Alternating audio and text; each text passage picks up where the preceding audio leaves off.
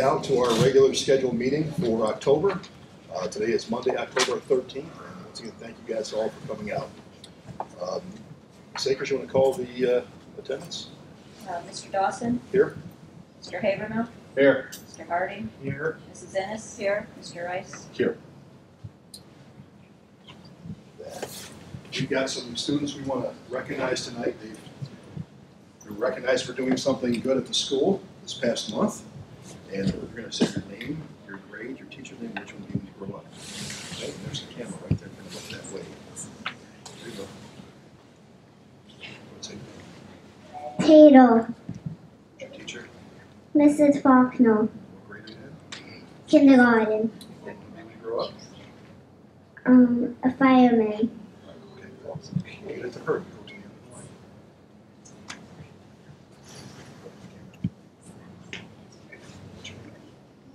Julie, kindergarten? Mrs. Lawson, a teacher.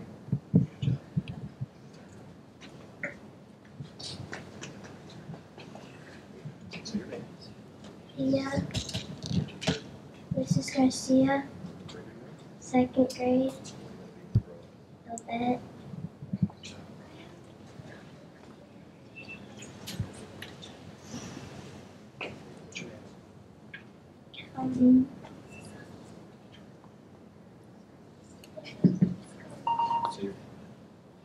in? second, your teacher? Mrs. Beckel,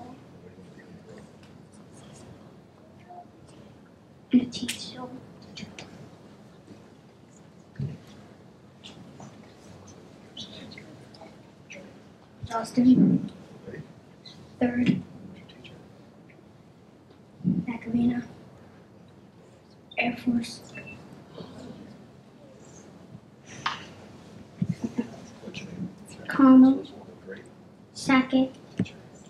when you grow up? police,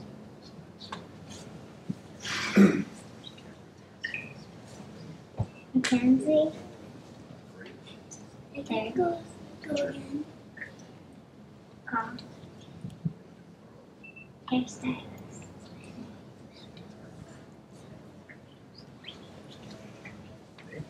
when you grow up?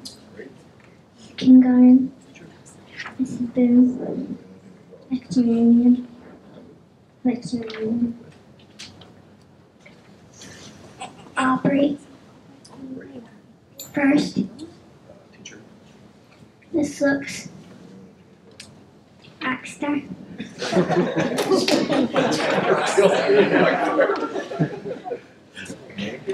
Grace, first, Mrs. Mrs. Frank, a singer, good. You guys want to lead us in the Pledge of Allegiance? Stand and join us in the Pledge of Allegiance the flag is. And You guys start us, we're gonna follow you guys. okay? Say the Pledge of Allegiance.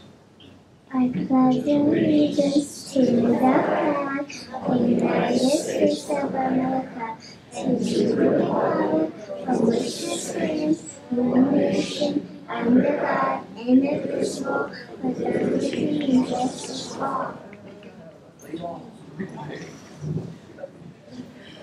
Good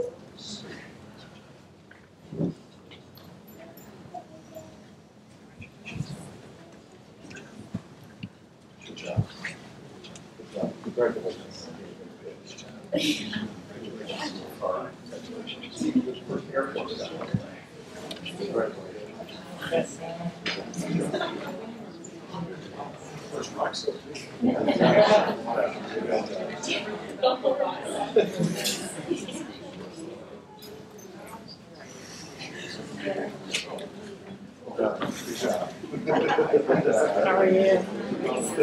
right,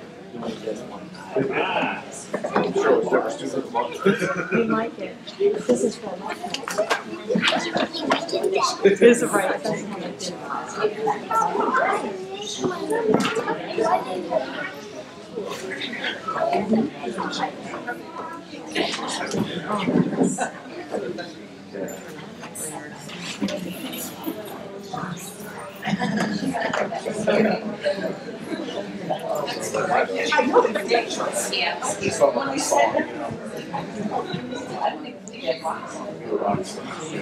Thank you. Okay, we'll move on to item number four.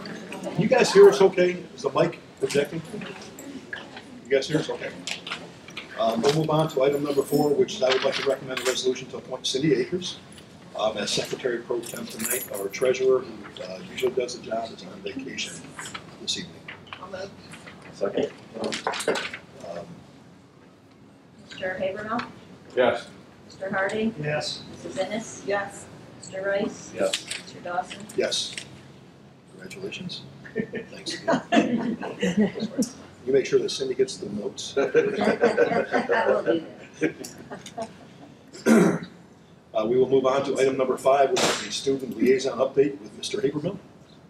Okay, tonight we've got a group uh, from the high school. It's, uh, it's our link crew, and their advisor is Mrs. Kara Habermel, and they're brought some of their crew in tonight to tell us a little bit about what they do. Sean, is that mic on or do we need this? Uh, don't need that.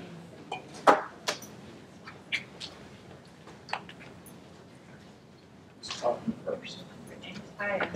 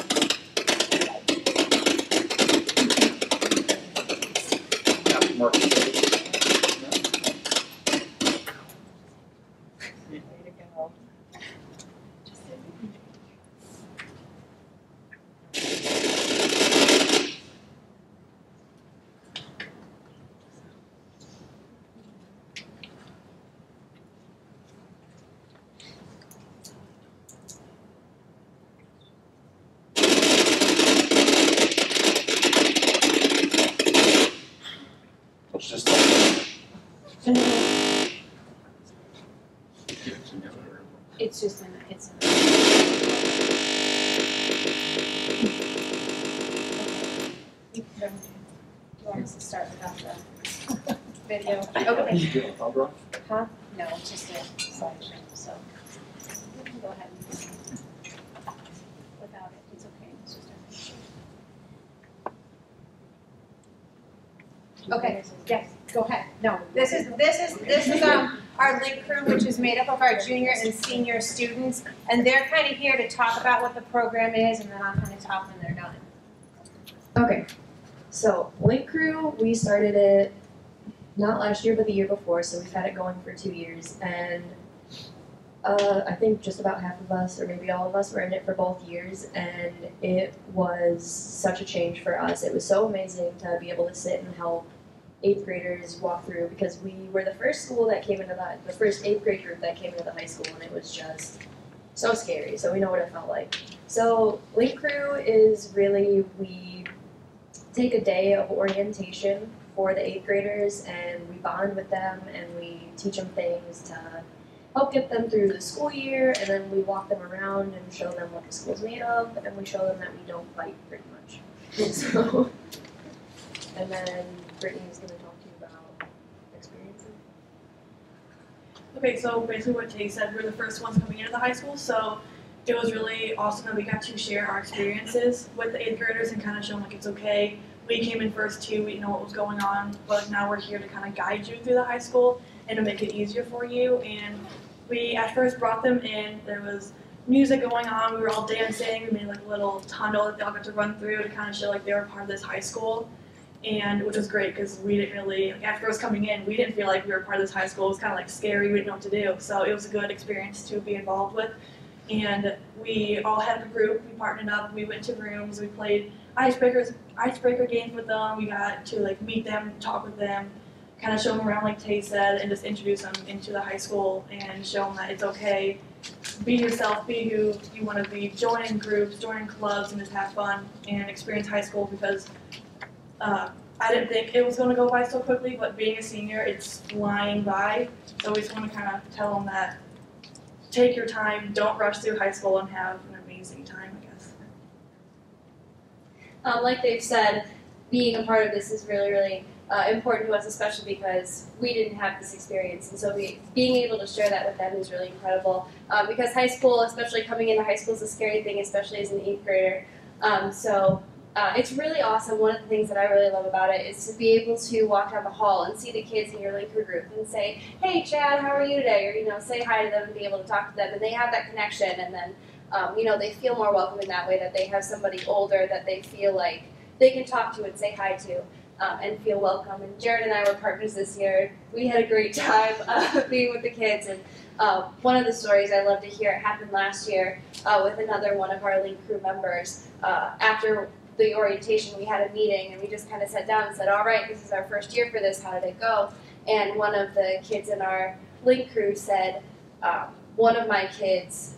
Told me that he didn't have any friends, and I looked at him and I said, "Well, I'm your friend." And after that, you know, they were able to develop that bond and make that person feel really welcome. Um, like Morgan said about the, the where where they where we first come into the school and we're not like, when we came into the school, we were like the first one. So when we came in, we were like, we were picked on so bad. Like it's not fun. Like we, the things that they have said to us, you don't even want to know what they said to us. But now, now that, but like when we did this to the eighth graders this year, I think that they had a way better experience than we did, and it's just just over one day of us bonding with them, and I think that we really made a difference in their in their high school experience.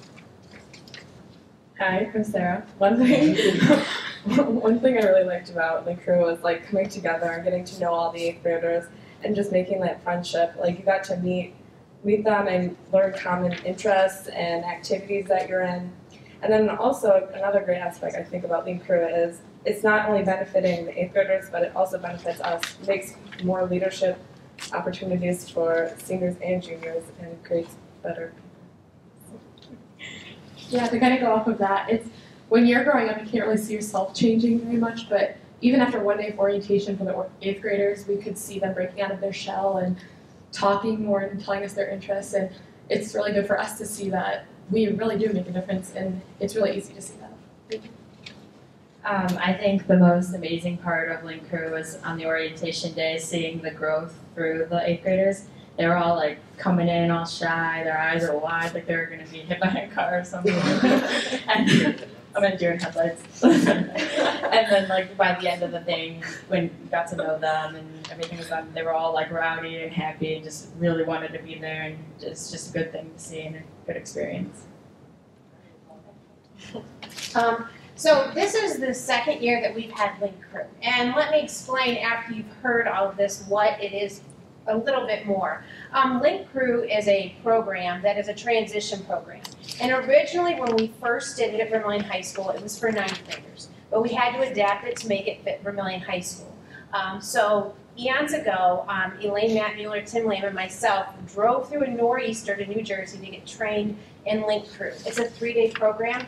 It's very expensive. It's almost three thousand dollars per trainer to get trained, um, and it's an it's a very intensive training. I mean, it's um, a very long three days, but it is the um, probably most wonderful professional development training I've ever done um, in my 20 years. It really prepared us to bring this program back, and every um, little piece of it was planned, and you could fit it to your high school.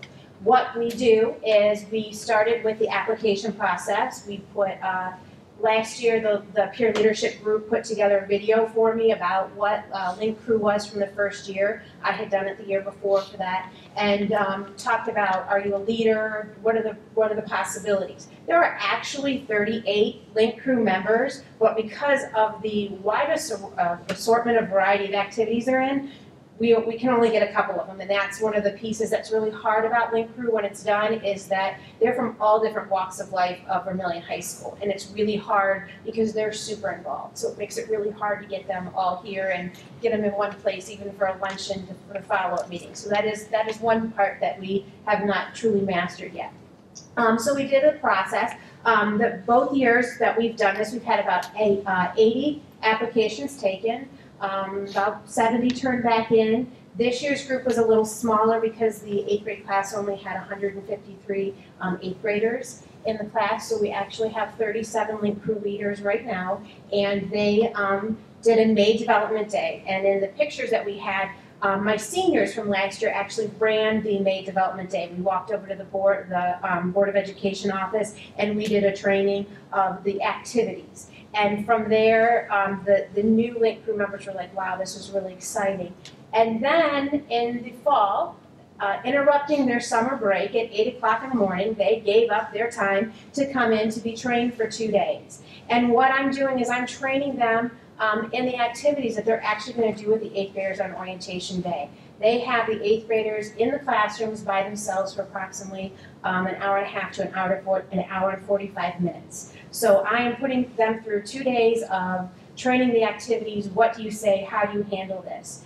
Um, it's full of energy, up and moving around, and it takes the eighth graders who, like they said, were very nervous, very didn't know what to do. It takes them from a level of activities where they are complete strangers and very uncomfortable to the point where at the end they're sharing their experiences and what they're looking forward to in high school. These guys are all very involved. They want to make sure that their legacy of what they've done at Vermilion High School continues. And to me, that's the most important part is that, you know, they're talking about how their heart, it's hard for them to believe that they're seniors. And they still keep referring to last year's seniors and the things that they did. And all of the things that they did with those eighth graders during orientation, and you can't see because of the picture, the, the slides didn't work out. But one of the last things they do is they give the eighth graders a tour of the building. And to me, it was kind of comical because of the adjusted uh, start of the school year. Our tour, the staff was actually in the building because normally um, the teaching staff's not in the high school. So these guys got to come up with a theme for the tour, and they put on costumes and did a tour with the eighth graders to show them the ins and outs of the building. Because to an eighth grader, there's two things they want to know. They want to know what their schedule is and where their locker is. And after that, everything is good. So we really, you know, gave them a tour, where the lunch lines, which restrooms to use, all the ins and outs of the high school. These guys did it. I just helped them realize the things that they need to share with the eighth graders. And so it went from, you know, their tour, they come back into the gym, um, they did, we did a closing activity, and I brought forward all the seniors and talked about their commitment to graduate with their class and brought the juniors forward and showed the eighth graders that they have an impression on the high school. And to me, it's absolutely amazing to see how much all of the seniors and the new juniors, this is new to them, how much they really um, look at the eighth graders and go, wow, we were eighth graders. Because this senior class was the first class we brought in as an eighth grade. So they've got the full five-year effect of Vermilion High School and what it was like to come in, and they didn't have this program. And I think that's part of the piece that they're very passionate about, is that that wasn't there for them, and they want to make sure that it continues. So, you know, we did the orientation. Um, the school resource officer set up a luncheon for the eighth graders after that. So all of our eighth graders got a great experience to Vermilion High School. It was a positive, it was a fun day, and I can speak from personal experience. I have an eighth grader right now, and it's hard to impress her and wow her. And she wasn't excited, and she said, well, I have to go. And I'm like, yes, you have to go. And she came back and she goes, that was awesome, I really liked it. So I think we're doing the right thing. We're making a good start for them. We're, we're providing them with a memorable experience of high school. And it's interesting because a lot of the sophomores go, can we join? When can we be in Link Crew? Because they want to follow this tradition. So um, right now, I'm the only one that is trained um, for Link Crew. Mrs. Reynolds with peer leadership helps me and works with me and does everything that I, I ask her to do. Um, we would love to get more staff trained, but again, it's expensive. Um, there's another piece of it that's a follow-up, that is another training um, to keep the program going to do more things. Um, in the past, we've done some follow-up activities, working with the peer leadership. Um, last year, we went in and we did some follow-up lessons in tag, so it's a growing program of, of different things that we have going. So I want to thank all of you guys for coming to talk about it, because it's a pretty neat experience, so. Great. Thank you, guys. Um, you know, I think being the first eighth graders to come through the high school, you guys know more better than anybody, so you're kind of trailblazers, right? So, you know, it's easy to laugh about it now, Jaron, but, you know, you guys were probably pretty intimidated back then, so, um, thank you for making eighth graders feel welcome and, and kind of breaking down barriers for them. I think it is a really big deal. Thank you. That's it,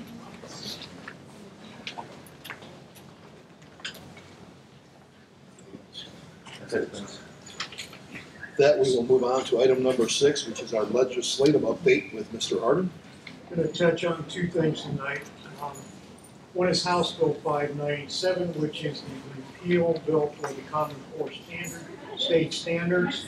Unfortunately, that hasn't moved in a couple months and is on hold, so we're hoping they soon, they decide what they're going to do with that. Nothing has been done recently, and of course, everybody's out there campaigning to keep the job, so, or get a job, so that's what's going on at at, at the uh, state level. At the federal level, there is a uh,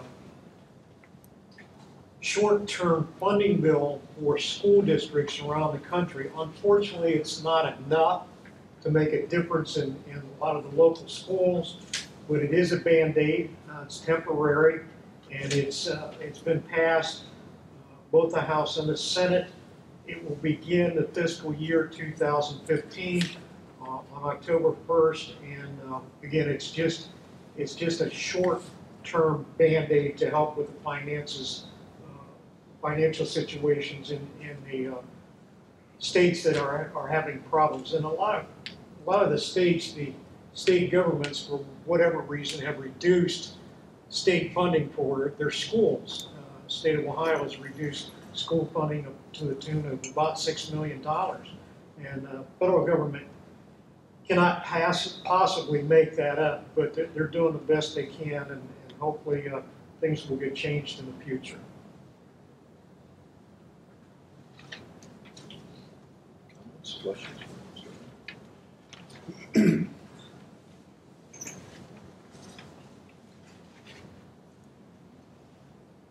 Anything else? With that, we move on to uh, item number seven, which is public participation. Anybody that wishes to speak? Mr. Smith? Oh, okay. Thank you, Mr. Dawson. Um, I was on the committee that, uh, did the study and uh, decided to go ahead and, uh, remodel two of the buildings and build the new elementary building. At that time, and it was a couple years ago, I had asked the board if they would consider naming the new building after someone. And I said at the time that I thought perhaps it would be appropriate uh, for an Ohio hero. And since, uh, oh, they all left, uh, the little kids uh, will be in that building and certainly would uh, be interested in, in the, uh, yeah, uh, space, space program. And I had suggested at one time, and I don't know if you remember or not, but I think it would be appropriate to name it after, um, um, yes, first man on the moon. Neil Armstrong. So, uh, I certainly would like to nominate that hero, uh, have that building named for him. There may be many others. In fact, I was thinking about the uh, historical people from uh, Erie County. However, they're even older than I am, so uh, I don't think that some of our uh, naval heroes from uh, the Battle of Put-in Bay, which I was told in college, and I always talk this way too, I hope you remember, that uh, the probably the most important battle in our history was the Battle of Put-in Bay. But Mr. Perry is even older than I am, so I don't believe that uh, that might be appropriate. But certainly, our young people, and uh, my grandmother was so proud of the fact that she remembered the first flight in an airplane, and she lived to see the first man in the moon. And uh, certainly, Neil Armstrong uh, would be appropriate to honor uh, many places in this state. We are honoring today an Italian uh, who, given credit at least for discovering the New World, but uh, Mr. Armstrong uh, invented uh, a whole new frontier. And I certainly would uh, think that the board would consider that instead of just having it be out in the middle of Street. Yeah, I think we made a decision last summer right now to go with Vermilion Elementary School, but I think we're always open to recommendations if we have to get a committee together, maybe look at honoring somebody from the state of Ohio. I think it's definitely something that we could look into. Our presidents that came from Ohio, I used to tell you kids uh, that uh, perhaps um, we have seven, I believe, um, from Ohio, and uh, the country would probably like to give them all seven of them back to Ohio. But uh, anyway, uh, Mr. Armstrong will live in infamy, if I can borrow uh, famous quote from the Second World War. Thank you. Thanks. Anybody else that wants to speak tonight?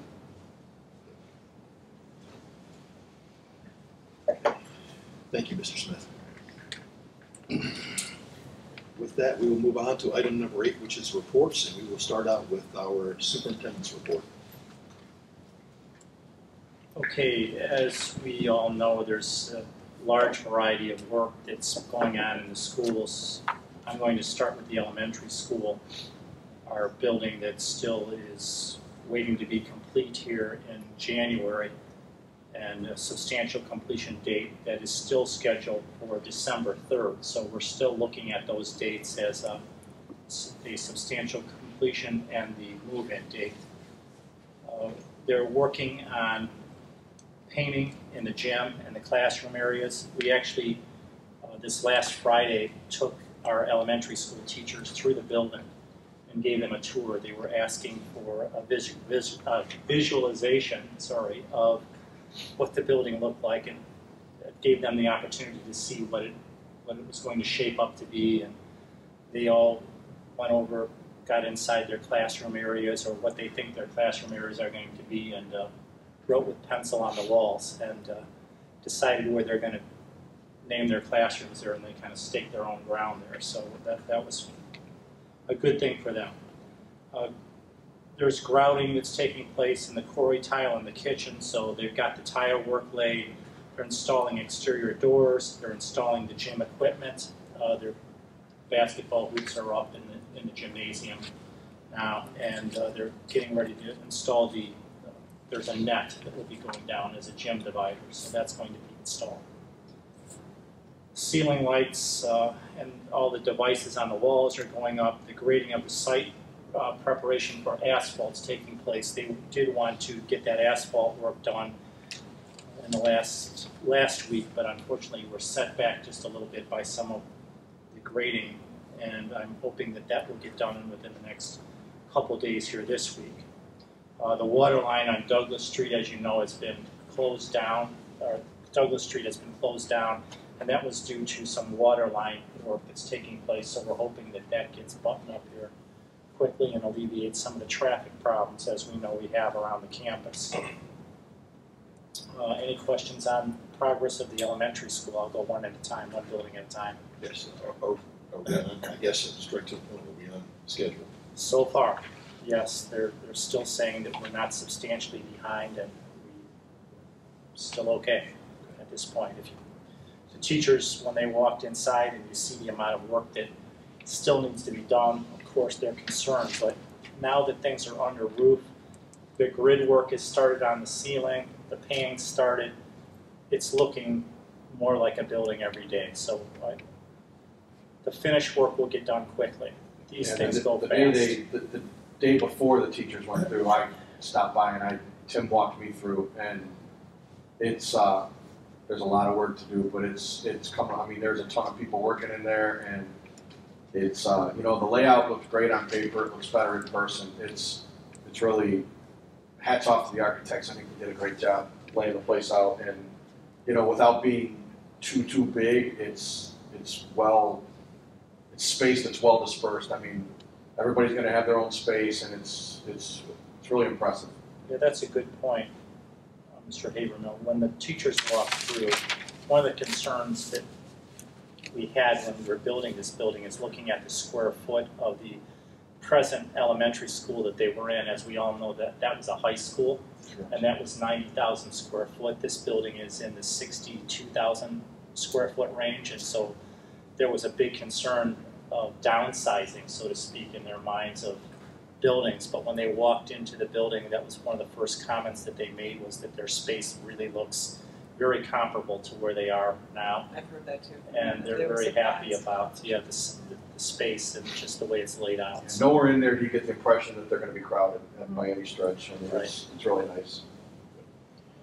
I guess my question would be, so right now we're on, on time, but do we have a plan? Okay, we're gonna, we get the building on the third, here's plan A, plan B, if we get the building on the fifteenth, and plan C, if we get the building on the Christmas Eve. Do we have plans in place for the emergency move-in if it gets to that point to be ready to go by the fifth? The nineteenth is a Friday, right before the Christmas break. Correct. Right now, we have scheduled for the teachers, those elementary school teachers, to have that day as a move-in date and the day after Christmas. You mentioned a Plan A and B. Plan C was even later than, like on that Friday. No, there's, we, we absolutely have to have them done by that time because we need those two days minimum as a move-in. What we're anticipating though is from the third till the nineteenth, that there's going to be a good amount of teachers that are going to be going in there after school and doing a lot of the movement and setting up their classrooms and we'll, our crews will help them get their things moved over there. We really have to push not to have a plan C. We'll have one behind the scenes, but we're sure not going to let the architect or the builders know that there's a plan C. It's really just an A and a B only. So hmm. hopefully they're not watching this tonight. knowing that there's a plan C.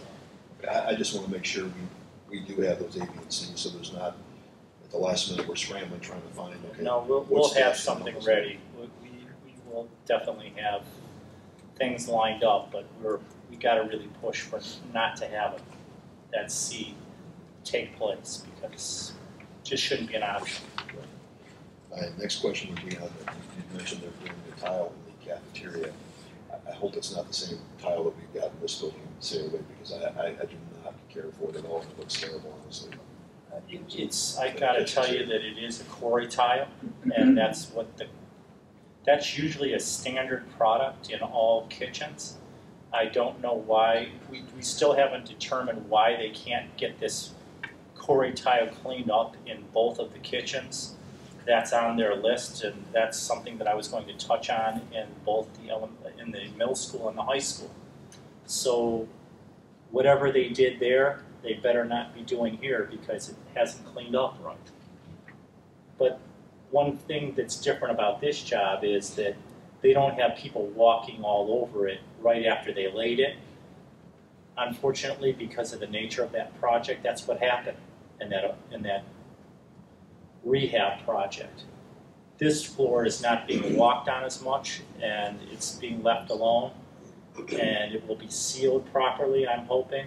Uh, and we don't even know if that's the, the problem. They're claiming that that is some of the problem was the seal, possibly. So that's part of our punch list. So I've never kind heard of tile being sealed. I, I know grout being sealed, but not tile. It, and, and that's and maybe I'm mixing the terms, but It looks dirty. James, Never- you, never I, I'm going to defer to you.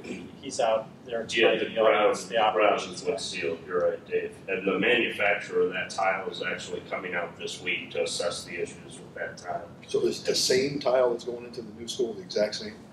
I don't know if It's it's the the same? exact same, it's very similar. But It looks terrible.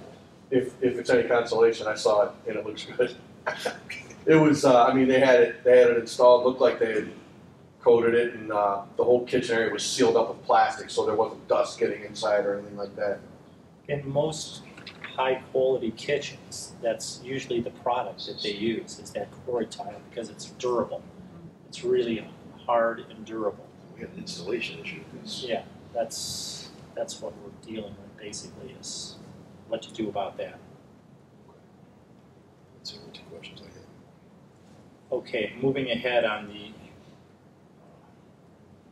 some of the other things, as far as looking ahead of what's going on in that middle school, they're starting the cubby area and tile work, they're completing the gym equipment install, uh, they're starting the site lighting, they're continuing site grading, they're starting asphalt in the east parking area, and they've completed the drives and walks. So sorry, I didn't know that he did a, a- Tim gives me an updated sheet here, and I'm just kind of going off the sheet here and what I know as well. As far as the high school and the middle school goes, uh, they're completing the commissioning of the HVAC system, and we're completing the punch list and closeout of both schools. One thing that I know we have a real big issue with, as far as we're concerned, is the heating system and air conditioning system at the middle school. The idea was when we installed those systems is that we were gonna have a, a good balance in the way that that air is blowing, both hot and cold. That's not working out well. We've got complaints from the staff that it's either too hot or too cold in some of the rooms. That's no different than what we had originally. So the intention was to put those new systems in and get it right.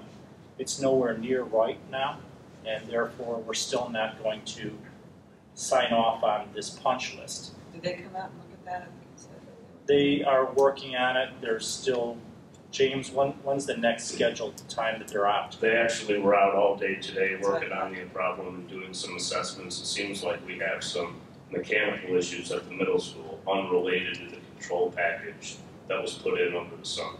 And they're getting us some quotes on that, but it should be all taken care of here shortly.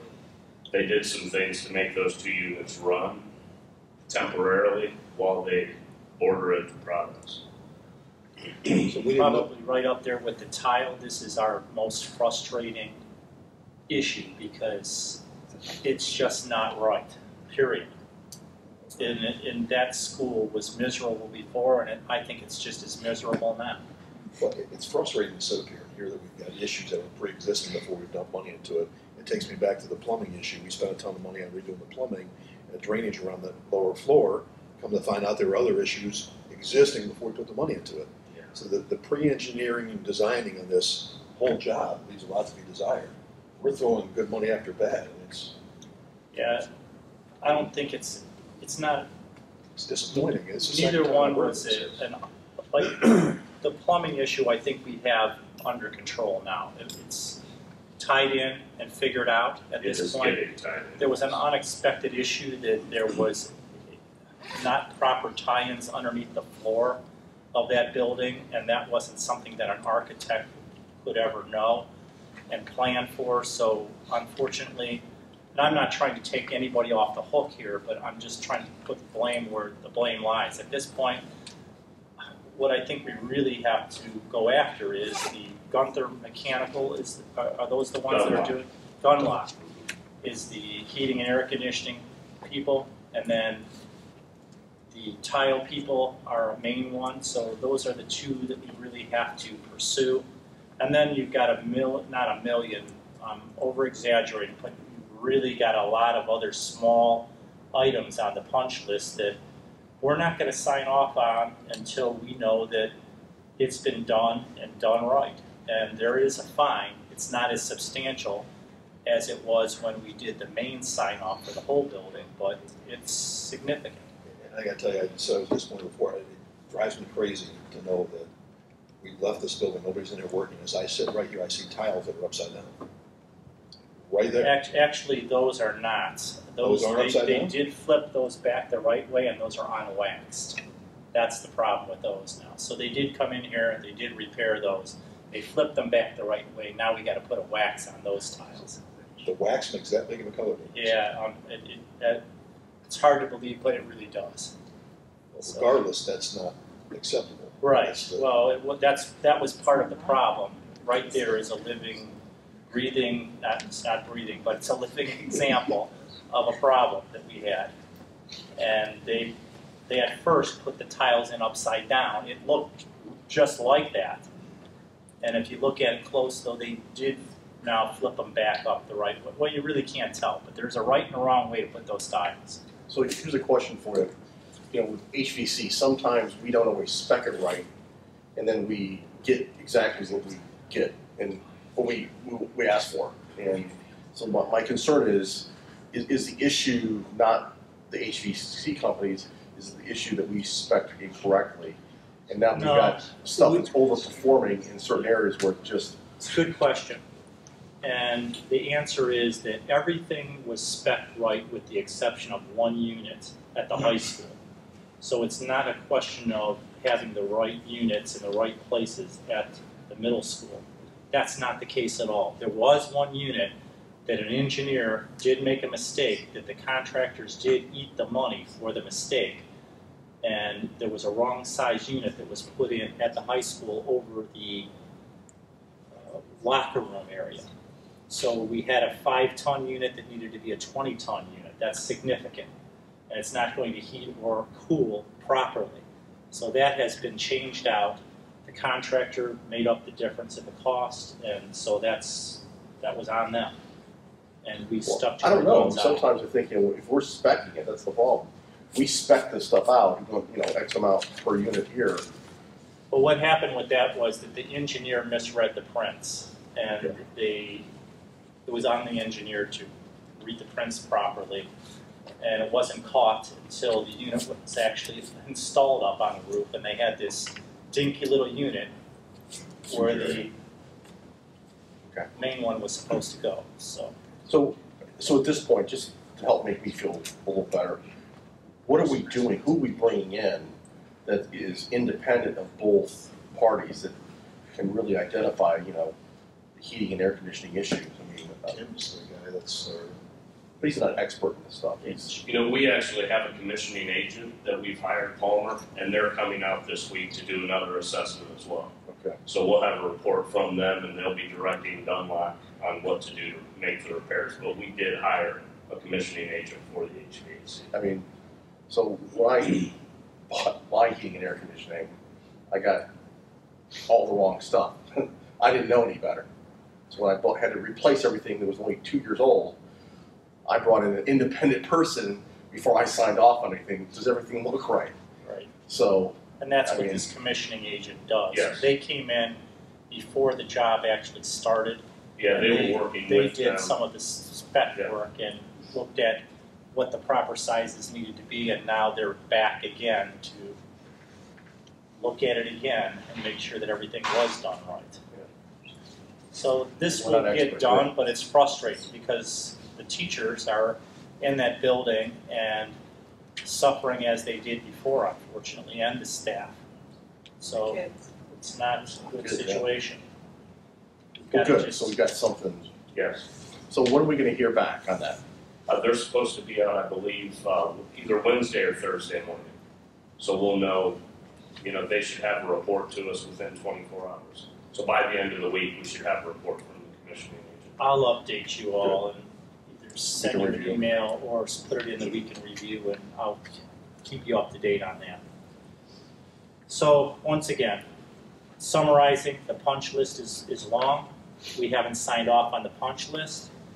Lot to do. The two main things that we've got are flooring and air conditioning and then a lot of small things that we'll keep after. Did the staff get a copy of the punch list so they can see within their own area, anything to add to No, that? That's a good point. What, what we have had them do, we didn't give them our list, but we're telling them, you tell us if there's anything that you notice that we can add to the list.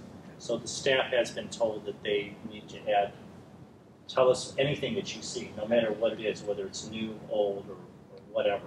And who are they reporting that up They're to? reporting that to the principal, and then the principal gives it to James. Oh, so hopefully they're putting it writing via email versus just verbal.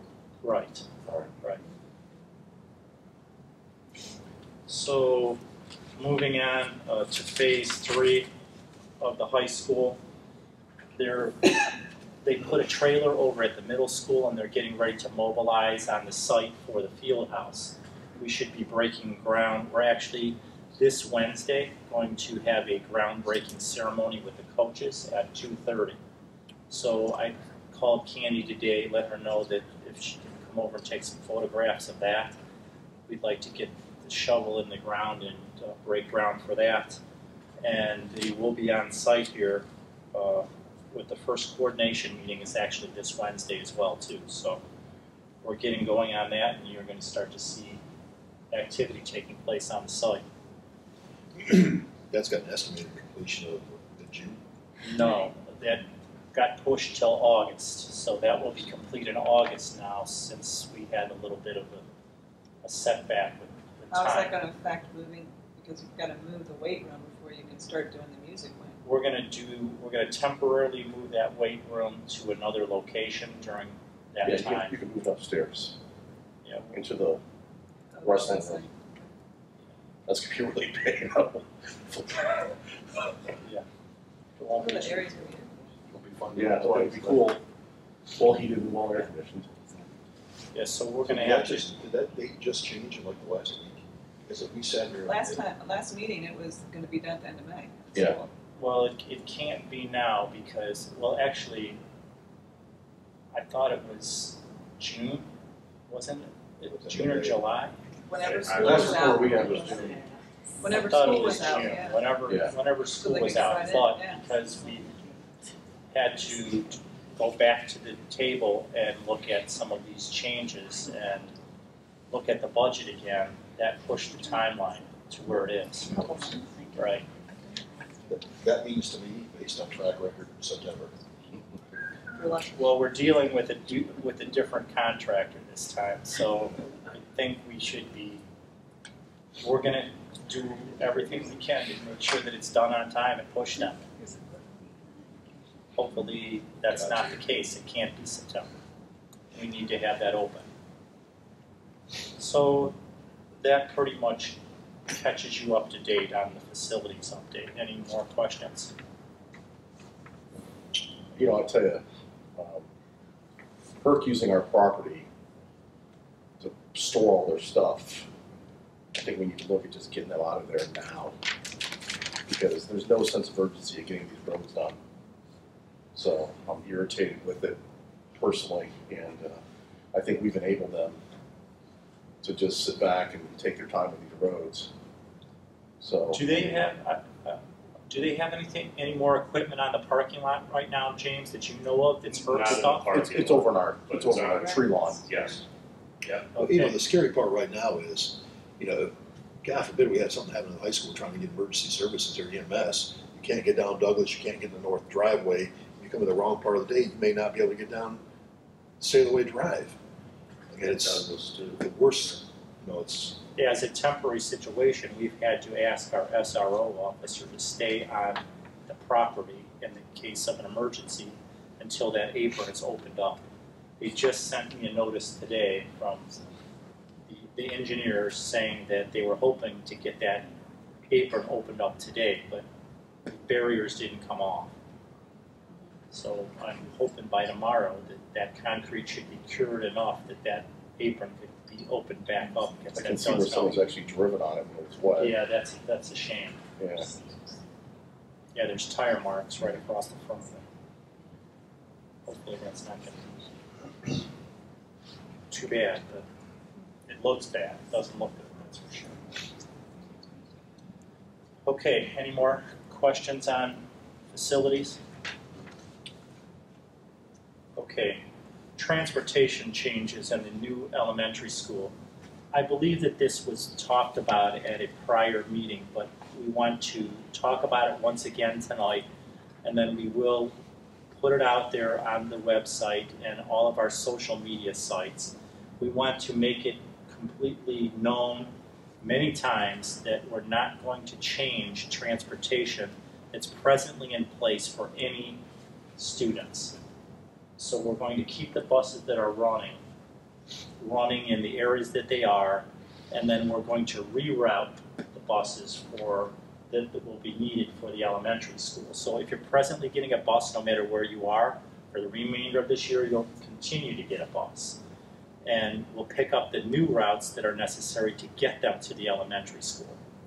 So I think there was some doubts or questions, and some of you have taken questions from some of the community members about what's gonna happen. How is that in the real world, where it's a mile or two miles? Right, the radius is one mile around the perimeter of the school. So where is the line now for where the old elementary, the old elementary school is right now? Where's that line in Valley View? Where's the one mile? Cindy, you, you, you know the It's exact right location. at Devon Drive and, um, where Langford comes around and meets Devon, So we're gonna bus people a right block, there. two blocks? If they- That's, there's if a they line. want- Yeah, it, if they, if they want it, we'll run the bus by there for now, we just, we felt that, Mid, mid-year, I got you. yeah, that there could And there'll potentially be be some kids that live over in that Decatur Street area that will need busing now, that didn't have it Right. before. So what is this, uh, have we looked at, are we adding buses, do we have to have drivers? It, it's not a tremendous rerouting cost, James, do you know, has she calculated it all up yet? It looks like we're gonna have to add two drivers, Two drivers? We have enough buses that are, so yes. Now, is that temporary workers, or is that full-time? No, temporary, just for that half school year. And then we'll drop the, the ones that shouldn't be riding at the beginning of the next school year. Okay, so we'll get that out um, onto the web and all of our social media sites, and we'll put it in as many prominent places as we can, and that takes care of that. Okay, um, I'm gonna skip number three because that's gonna take me just a little bit, uh, longer. I just wanted to bring to your attention that, uh, the Compass, which was a publication that existed quite a while ago is back in existence. So if you could pass those along and let you take a look at the quality of the work that's being done there. Ann Zadinsky, our English teacher at the high school, is the editor of that and the students are contributors and we think it's a great thing to have back at the school. And Ann will be doing the yearbook this year as well, and so you see some of the quality of things that she's doing there with the kids, and I think that we can look to see some real quality things that are gonna go into the yearbook as well, so just wanted to bring that to your attention. Candy, do you know, years ago, Compass was part of the photojournal? Yes. Any, you talked to, Nobody's talked to us. okay, so you, So down the road, it we can. it was like LinkedIn or? It was, it was Yeah. part of the There's paper, the kids PDF their own thing. All right, we probably didn't know that, that that was the history, so now we do and we'll get It, in it, touch with you. it, it was two pages and then toward the end it got to be one. Well, this is two pages worth at It'd be great to tie it back in on some level. Yeah. Yeah. Yeah, that'd be fantastic if that could become And part of the Heidi paper. had asked about it, oh, like two, two years ago. Okay. But there was no publication with which to work and now there is. Okay. Okay. All right. um, So we talked about the concrete apron, and that was part of my report, so you know about that, hopefully opening up by tomorrow. And. Talk about that for a second. Yeah, well. That's actually just. Okay, so you want to hold off on that until then? Yeah, it. All right. Okay, so the last item that I have on the superintendent's report is the purchase of iPads for grades K through five. I'm going to change this a little bit and we're going to, for tonight, I'm making a recommendation that these are gonna be a K through three purchase. And we're going to change the amount of the iPads from two hundred to one hundred and fifty we have to have more discussion with the fourth and fifth grade teachers. Uh, Some things came to light over the weekend when I was making this recommendation. I talked with the principal today. I don't believe we're in a position at this time tonight to go forward with anything additional for the fifth grade. We do have two teachers over there at the fifth grade that did want them at this point, but we can make do with this approval tonight with the recommendation if we go forward for the hundred and fifty. And then we'll have further conversations with the principal and with the teachers of the fourth and fifth grade team. What I want to say about this purchase, and I think you've seen the YouTube video, and I will play it for you tonight if you'd like, but I think you've all seen it. And it pretty much goes through the rationalization of why the iPads are needed at the K3 level. It's part of blended learning approach that we're using. It's part of a centers-based approach. We have right now nine laptops per classroom that have been disseminated throughout each classroom. These iPads then would be added to that center-based approach. So basically what the teacher's doing at times during the school day is running through centers. She'll take a small group of students and then that instruction becomes individualized with either the laptop and software that's being run through the laptop or now with the iPads being added, and this would add an additional five iPads per classroom to a center. So that really becomes a total of 15, 14 to 15 devices to be used in that classroom as a center-based approach. We still do have at the K3 level those iPods. Those are still being used and will continue to be used until their life is, is, is no longer able to be carried on further, but they are, this is going into their sixth year, and they're the size of your phone, basically. And as you know, when you use a device that long, it does start to go bad. So we did sell a lot of those that we recouped to put back into this initiative. So do, do you want to see the video tonight? Is it necessary for me to show you the video? No, but I'd like to know the dollar amounts. You and I talked. Yeah, Do we we're- need, I mean. Sean, did you recalculate it? Yeah, it would be seventy-six, one ninety-two. So what is that per Okay, yeah, unit? let me, let me talk to you about that a little bit. I know that you talked to me uh, Which I about the can price. buy, Yeah. But I was concerned I Here, could buy here's, it. here's what we're doing, you know, just uh, to clear up any misconceptions. That's five, if you, if you do the, the numbers, it's five hundred and seven dollars, I think, per unit. But what that does include is Apple Care and a case. Now, the question was brought up, well, you, I can go to Walmart and buy them for a cheaper price. We will approach Walmart, but, and if we can't, and if they will sell them to us with the Apple Care and the case and give us a better price, by all means, we'll do it. But the thing of it is, is they might not sell to us in bulk like that. We don't know. What we did was establish the price through Apple. Most likely, they're going to direct us back to Apple and say that they only sell to, through Apple, or to, Apple can only sell them to us. So we're not sure at this point whether Walmart will sell them to us. We'll try. But that was the best price at this time that we were able to negotiate through Apple.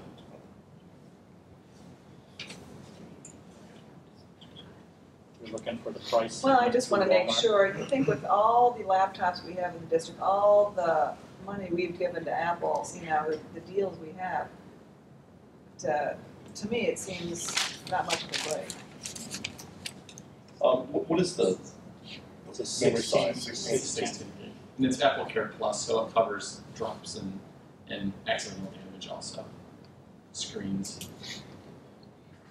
The only concern I have about the sixteens is, you know, a lot of us have bought the phones with the sixteens and now with the new OSs, as they keep upgrading. Right. Another thing though is, uh, you'll, you, kids aren't gonna store pictures like we do. If you look at your phone, they're gonna take pictures and then they're gonna import them into some type Right. of cloud storage. Um, and then it's up to the teachers to really maintain a, an app library. Which when we, we, we, we did. The cloud, which is nice, I mean, Right. We did consult with eSpark, which is a company that curates apps, and we looked at their pricing. Their pricing is really expensive. Our teachers felt they could curate the apps, and that's what the product they recommended is a 16 gigabyte is typical for K three. I guess what we're asking you to do tonight is a- approve a ballpark number, and we're assuring you that if we can make a deal Okay. through Walmart, we'll do it. We're, we're going to try to find the very best price we can. And we sure have in the past, and we will go back to Apple before this is finalized. We negotiate hard with them too. We tell them, look, we'll go somewhere else. We've walked out, uh, out of the table, off, out of the deals before and said, no, we're not gonna do it. So we'll go back to them and try our very best to get the very best price we can. So this, this figure, the seventy-six, one ninety-two That would would be be max, the, the maximum. Still not to exceed. not to exceed. I've talked to Suzanne numerous times about, hey, do we have the money to pay for this? She said we have enough for a hundred thousand.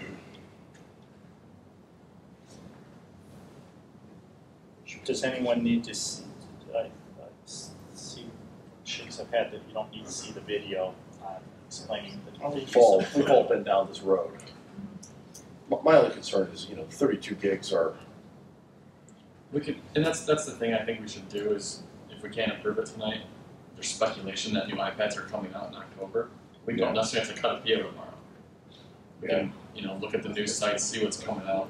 That's what happened with our last laptops. We had a 64 gigabytes of S- SSD storage space, 4 gigs of RAM. The next day, Apple had a keynote and released all new hardware. Yeah. And we were able to go back to them and say, this is what we want, this is how many we have. Right. That's Well, You, you guys tell us, we put this, I think we put this off since July.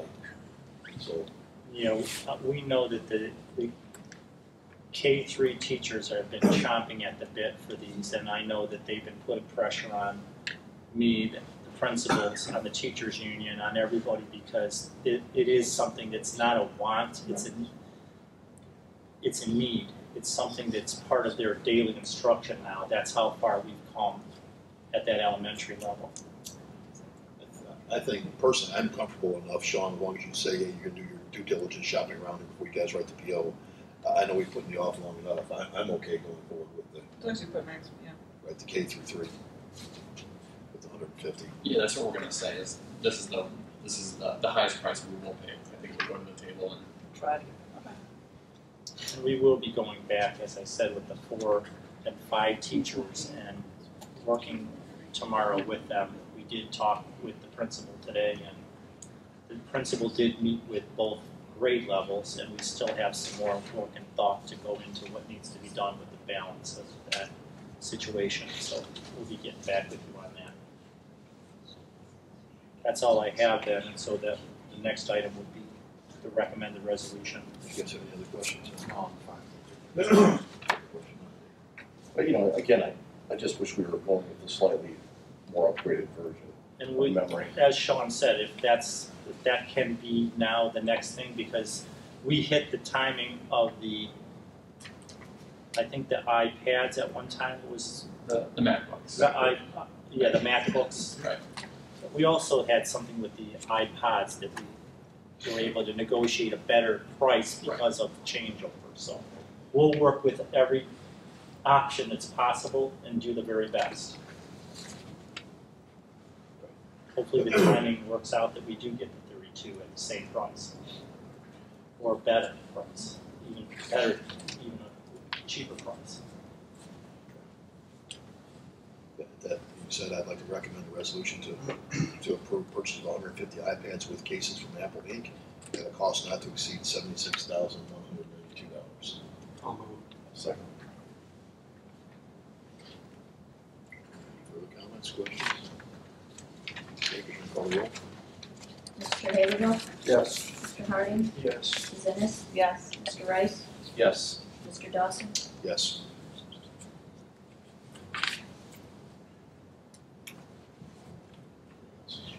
No, that's it.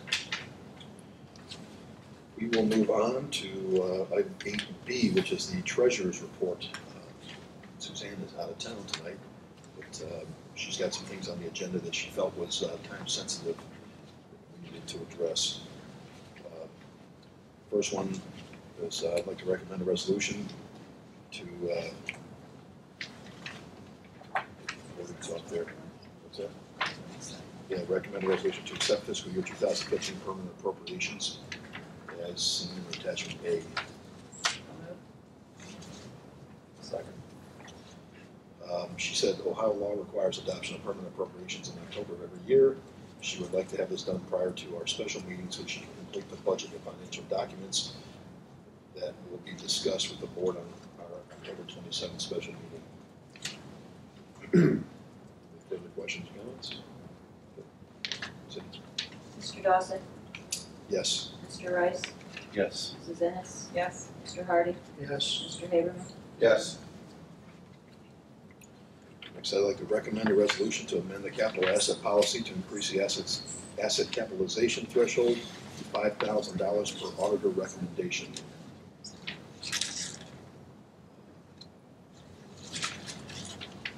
I'll move. Second. Suzanne's got that, uh, the auditors have been reviewing our books since August, they made a recommendation to amend the capital asset threshold. She asked that this be done to comply with the audit recommendation.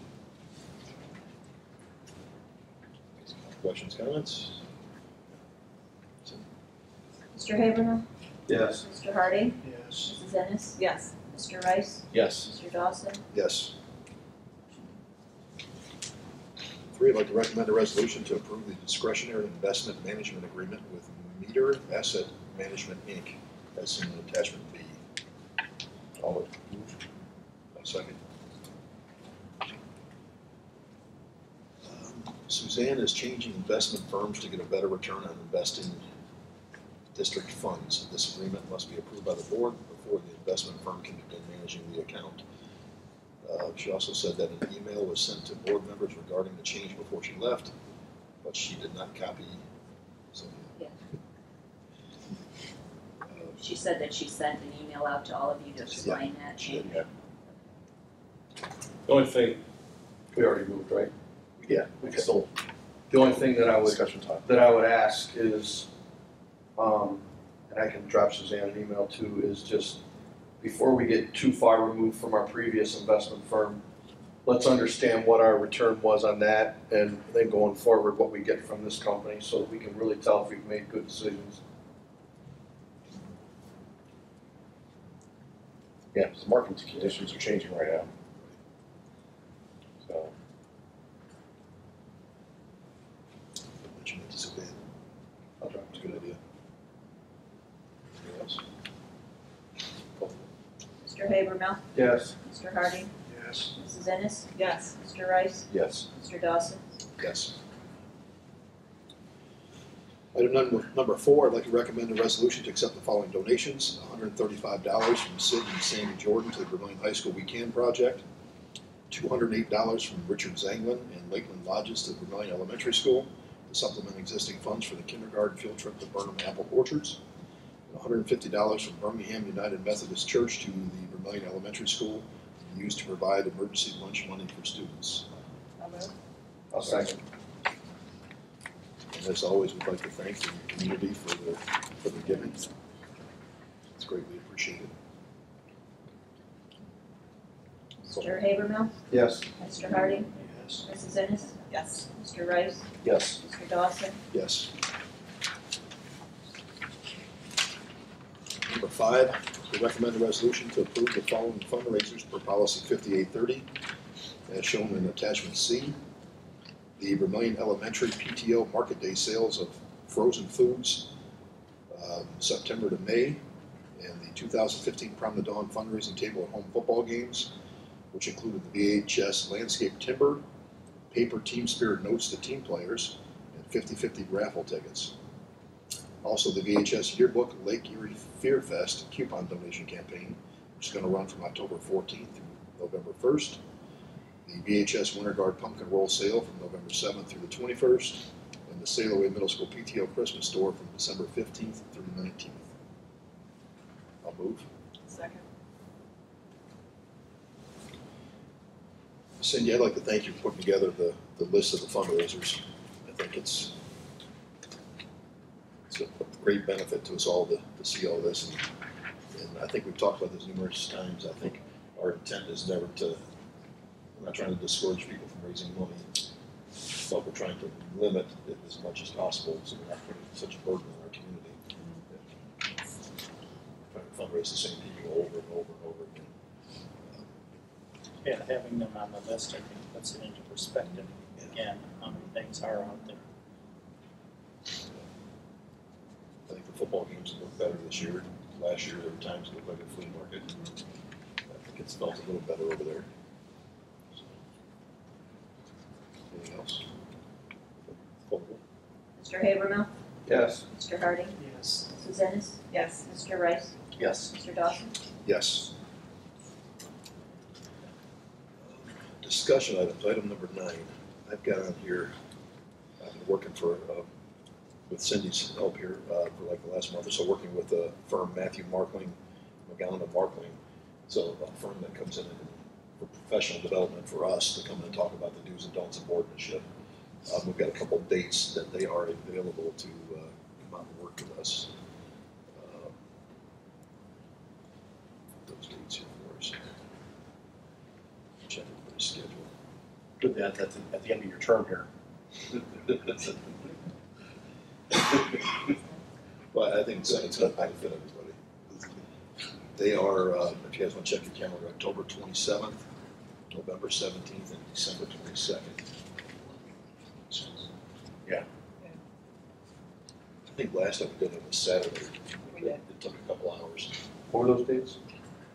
The October twenty-seventh, November seventeenth, and December twenty-second.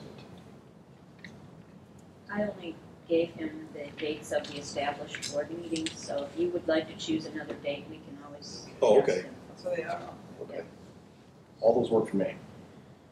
They're all board meetings. All the board meetings. I, I thought you wanted to incorporate that as part of the Yeah, regular. it'd make for a long night, I think. Yeah, think. it probably would. Yeah, I think the Shoot Saturday, for a Saturday Saturday last night. Um, Early December and then November.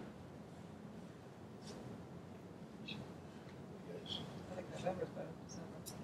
I eighth, fifteenth, I would like, no, go on both those the eighth. twenty-second. Works. Just before Thanksgiving. It's good. What's the backup date? Corral thing. Any choir? No. That's, that- that's kind of a good time, because that's in between. I mean, if anything, it's just gonna be your, I guess, it's, it's a new season for basketball and stuff like that, so it'll only be scrimmages and stuff, the, the seasons are just starting then. So I think that's actually a really good time. Cindy, can you check? Yeah. What I guess time? for our first option, maybe twenty-second, nine AM, Nine o'clock. um, and then have them give us a couple other options that are board nights. I'll check the calendar right now. The twenty-ninth is the Saturday after Thanksgiving, that's not gonna work. Yeah, I know. After that, you go to basketball. season. I, I think we did this a couple of years ago, I think it's well worth it. It was very, yes. Yeah. Yeah, no question. There's not an expense to us, I think it's covered through our, It's covered by North Point. right, Okay. you'll follow. Yeah, Dates. is that the only date you want me to check? Well, have them give us a couple of options, and Okay. Um, did you want to get it done before the first of the year? You know, I'd like to, Okay. yeah, November twenty-second. our first date, but a couple of. Backup days. Yes. Oh, backup days. 22nd. Check December sixth, just to Okay. be safe.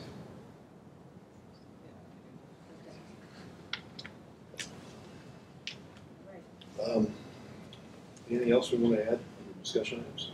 Two, there's nothing on November twenty-second currently scheduled. Two short, It's yours. Sorry. This new operating system. I'm getting it on my iPad and my phone at the same time, so. Um, two things. One thing that as the money becomes available and as the projects move on and we're done with phase three, we're believing and hoping and thinking that there's going to be money left at the end of this project. And I would like us to be considering and giving strong thought about the fact that we need to upgrade our science lab. That lab down there is in sad shape and needs to be thoroughly upgraded. So as money becomes available, I, I've given the blueprints to the science department. They're gonna get back to us with a, a wish list, a dream list, so to speak, of what they want to have happen within that wing. Quite honestly, too, in addition to that, though, I'm looking at other options of going out for naming rights, including like a section or a wing of that building that we could look for someone that could give a substantial donation to that particular wing of the building and all the other wings of the building too. And the auditorium. Those are all open for possibility of naming rights, and that's a whole other subject, and we don't need to get into the naming rights tonight. I'll talk about that at a future board meeting as I'm getting closer to the reality of going out with that. But I do want you to all have in the back of your mind that I think that we need to look at the science wing and dedicating money as it's available. I think those are the original lab tables. They are. Yeah, they're in really bad shape. So we need to give that a makeover. And one other thing that I'd like to bring up tonight is that this has always been in the back of my mind as, as a dream of what to do with this campus, this school, this learning system that we're creating and how to market it and how to sell it and how to advertise it. And I really believe that things are starting to come together with the campus and the building of the building of that elementary building is now come, coming to fruition and we're starting to look like a real school district that's on one campus. I think the only way though that we really can get out into present day advertising and selling of ourselves and, and telling of all the good things that we have going on in our schools is to create a TV station, to create a library media broadcast journalist space that is on par with our technology. And I really believe that that's always been in the back of my mind that that's what things would look like here. And I think that it's going to pay for itself. I don't want to say pay for itself, I'll retract those words, but I believe that it's going to pay a good deal of money back to us in terms of advertising and the options that it would give us if we were to invest in that possibility. So, So would this be channel twenty?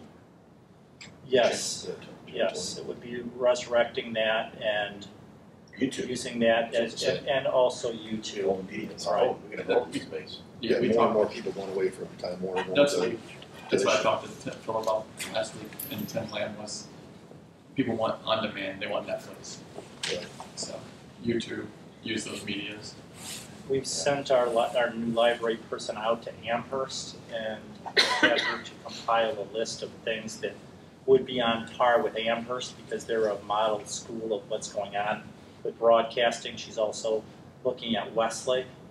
And so I've always had that thought in my mind to want to make that as part of this plan of overall plan of what we're doing. And it just makes sense to me. So I'd like you to be ready for me to come back to you with a recommendation of what to do with that option.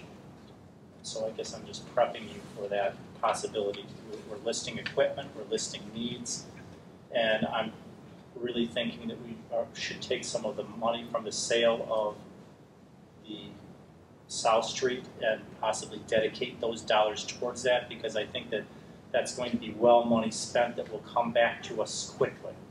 I can anticipate that we can get a lot of advertisers coming back to us with some options. I'd also like to know how much of our capital improvement money is actually used in lieu of what's been going on with the other projects, so if we could get a, I'll give you a Feel- list of that. yeah, I know we've used some, we've approved those funds, but, you know, it seems like we've spent less this year than we have in years past, so just because everything has been pulled part of the building project. Just, just a small example of something that we invested in over the summer was this photography equipment for our art class. And this is along those same lines where it's hands-on for kids. And in addition to that being a- an opportunity for us as a marketing tool, and just getting the word out about what our teachers are doing within our, our classrooms is the things that it does for kids. It's just a whole nother realm of kids learning. And now you can see teams of photographers walking around our school using that equipment. It's changing the culture. It's, it's just a different mindset of the way kids are working and doing things. Well, you know, it's really important. Every company on this planet is looking at how they can do exactly what we're trying to do to market ourselves and, and, and teaching our kids these skill sets is really to prepare them very well for you know any job in any company. Um, just because every company is looking at you know the same type of thing. How do you communicate what you do? Right. There's all these medias that are out here that's you know available to you. It's all about doing it the right way. Well, it's critical that we continue to grow and get better. And I really, uh, I've said this for the last year, we're, we're poised, we're really on the verge of just letting people know how special we are, but you can't really do it right until you have the media to be able to do it too. We've got the laptops, and that's big, but just having the TV broadcasting abilities and having the videos out there on our web and, and connecting the, the whole story is important for us. So, um, Like your, I'm sorry. Your newspaper is it online as well? The- the- No, No. because Vermilion's an older demographic, oh, Okay. and we do better than all of our other newspapers that are online. Um, Well, it's just another medium for us to potentially tap into. But it, it, you know, it, it's, it's not like we haven't discussed it, but. Sure. that, that kind of goes back to the older demographic of what Channel 20 would catch, because really YouTube catches the young generation, but Channel 20 Mhm. would be our older demographic watching the, yeah, that, that channel. But there's a crossover too that, you know, more older people are becoming more tech savvy, so.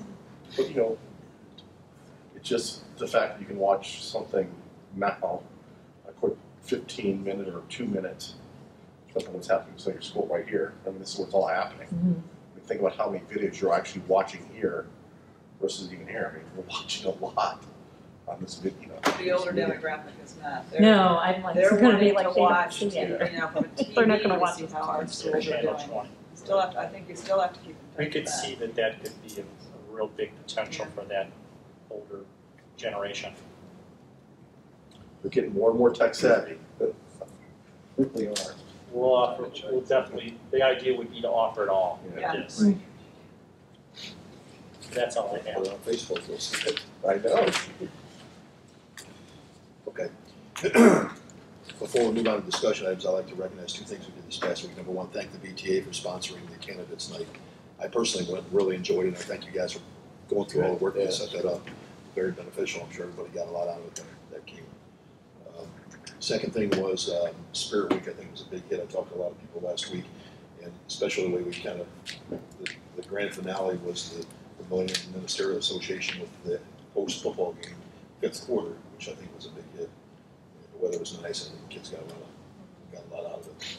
So thank you guys and the Ministerial Association for those two events last week.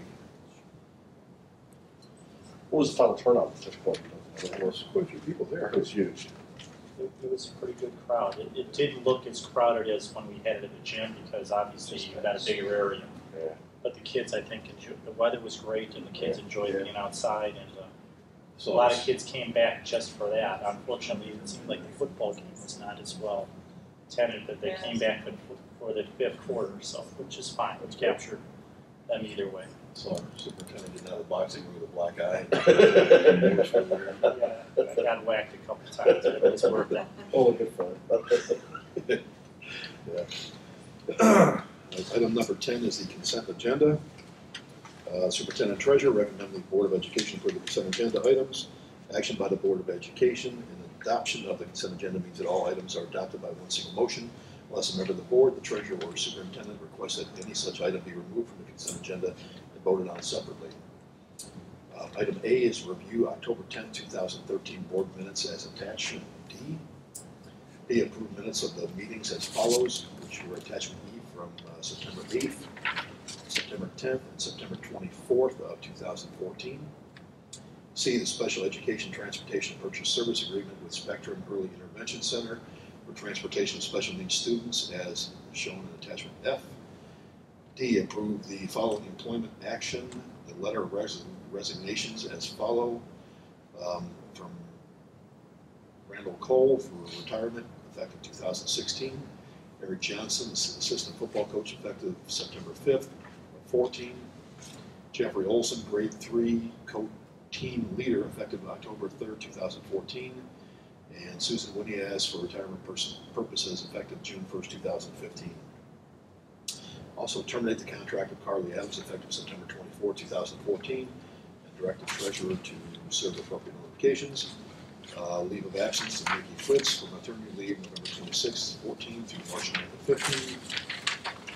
One-year limited classified contracts as listed. Um, one-year additional duty contracts as listed.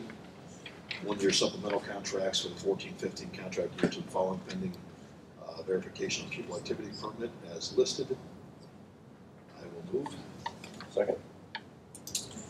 Um, do we know, at least all the winter sport supplementals? All of them minus some assistant coaches, we're still working on some assistant coaches, I believe basketball, girls' basketball, ass- assistant coach is not in there, and a freshman coach is not there, so all the head coaches are here, and of course, if they're not able to fill those positions, we'll have to come to you as soon as we can get them filled.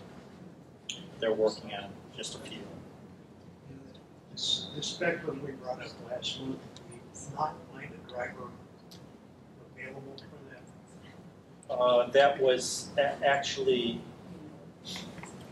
we did talk about that, and John Parsons came in and met with us on that, and found that it was not, uh, James, did you sit in on that meeting? I did not know. Okay.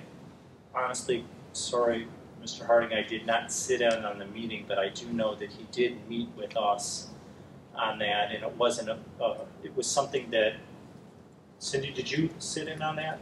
I didn't sit in in the meeting, but that is something that, uh, school like that typically takes care of that on their own in similar fashion to the Murray Ridge School, where they provide their own transportation for the students that are attending there. And that's just a typical the, the bus garage is fully aware of that, and the drivers are fully aware of that. And it's a, you know, it's a cost savings because they're already providing transportation in the area for other students. John, John came in and met with, He uh, Linda, right? Yes, John met And- with Linda, talked with the drivers, and they were in agreement that that was a Okay, thank you. See in the list here, we've got some new people. Uh, I know we tried to make an effort in the past to have them down here Yeah. That's my, my fault for not remembering to have them be introduced. We can have them Sorry, I come to the that next too. meeting. yeah. Are anything time sensitive? All the coaches, I believe, are unfortunately. Uh, let's see, who would be? We're gonna have to go through these. and We really could So have. bowling is completely different this year. I think Scott's been the assistant for a while. I think they're like, doing well. But hey, they provided a great, great teams. Moline is very well known for its domination in bowling.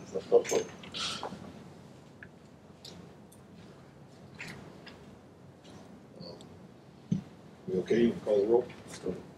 Mr. Habermill, Yes. Mr. Harding, Yes. Mrs. Ennis, Yes. Mr. Rice, Yes. Mr. Dawson. Yes.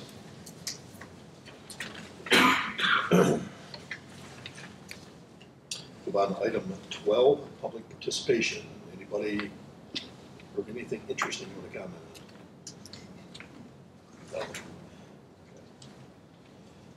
Item thirteen, I would like to recommend a resolution to move into executive session for the purpose of employment and compensation of public employees. Second. Call the roll.